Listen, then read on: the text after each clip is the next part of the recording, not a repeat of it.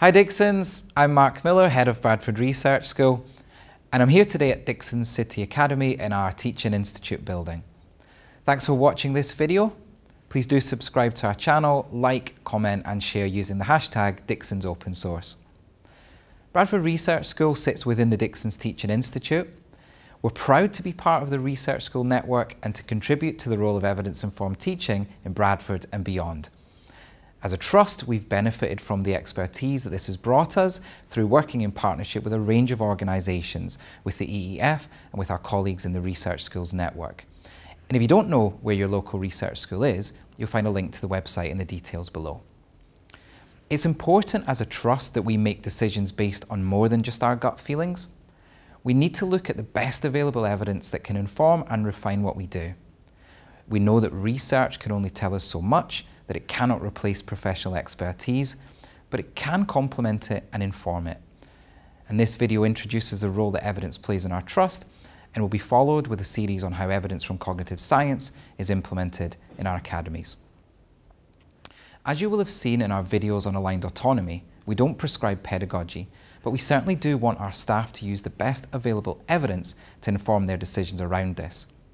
And this is why you'll find areas with a strong evidence base on the Dixon's backbone, from our focus on key findings from cognitive science to managing attention with routines to an emphasis on the literacy elements that will have the biggest impact. Just having them on the backbone is not enough.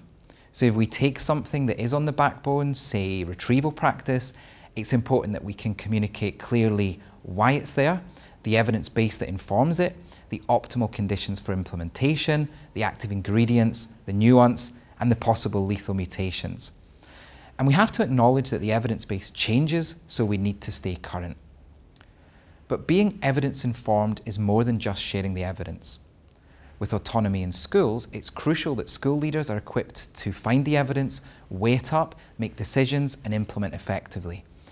And if the research is held only in the centre, then there's a danger that we lose autonomy, innovation, and leave ourselves open to those lethal mutations.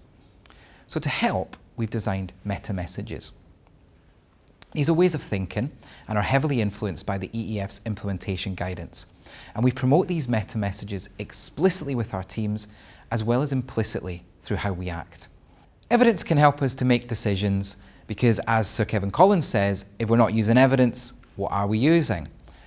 And we talk in terms of best bets rather than any guarantees. And we use the evidence along with our own professional judgment to decide what these best bets are.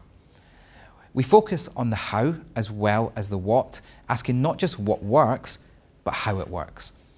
And this means identifying the active ingredients, the elements of an approach that are crucial to its success.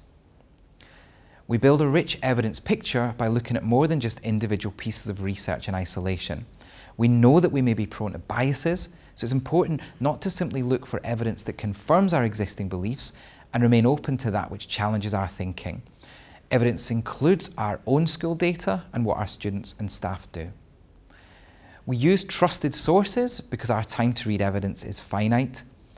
Finding trusted sources who can explore, synthesize, curate, filter and communicate the evidence is crucial. These might be the research school, the EEF, the chartered college, subject or professional associations, academics, authors, and even our own Dixon's evidence leads. We explore the nuance looking beyond the surface, avoiding blanket statements that the evidence doesn't support. We know some things work well in one context but not another, and the average effects hide nuance. And finally, implementation is key. We make evidence-informed decisions on what to implement, and we're clear what we're looking to achieve by adopting a new program or practice. And we systematically identify the right approach to achieve these goals and locate reliable evidence that it can have the desired impact if implemented well. And once we've codified the active ingredients of an approach, we clearly communicate these active ingredients and ensure that the approaches are delivered with fidelity. And in our cognitive science playlist, we'll share examples of this approach from our skills. I hope you found this video useful. Don't forget to like the video and subscribe to our channel, and I look forward to seeing you soon.